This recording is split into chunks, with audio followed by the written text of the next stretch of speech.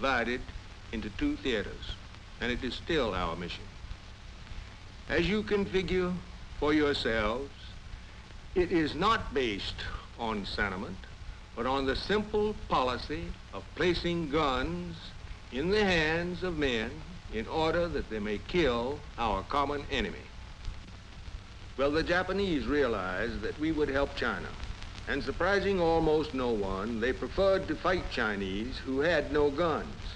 Since Shanghai and the Marco Polo Bridge, they had discovered that it takes a lot of Jap troops to hold China down, even when the Chinese army was virtually without arms. Consequently, the Jap took the logical step of completely isolating China from outside aid.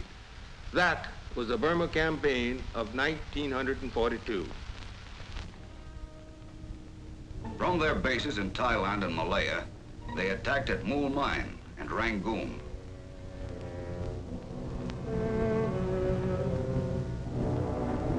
They pushed up the Irrawaddy and Sittang valleys.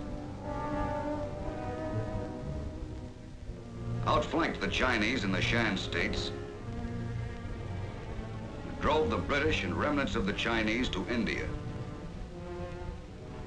That left all of Burma in Japanese hands. With what they could salvage of other Chinese troops, the Americans had gone to India too.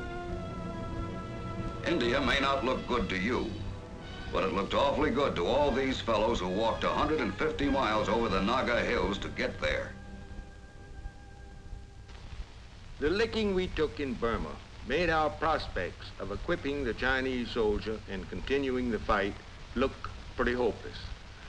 But if we couldn't take the weapons to the men, perhaps we could take the men to the weapons.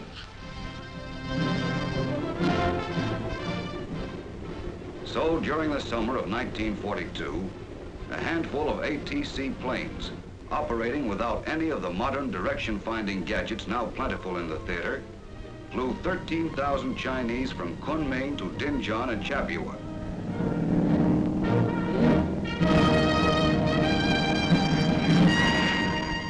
These troops were flown in transport planes at altitudes well above their service ceilings.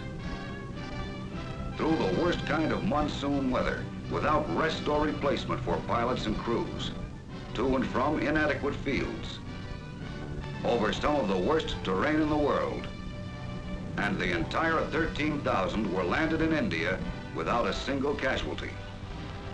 Many experts believe that will go down in history as one of the great air accomplishments of this war. More troops were brought in later. A training center was set up in India, and the Chinese 38th and 22nd Divisions were reconstituted.